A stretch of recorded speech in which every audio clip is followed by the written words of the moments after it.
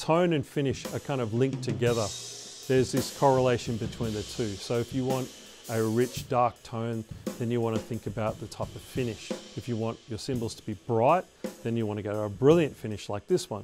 But if you want your cymbals to have a, a richer, darker tone, then you want to go a darker finish, thinner cymbals, uh, more hammering, less lathing.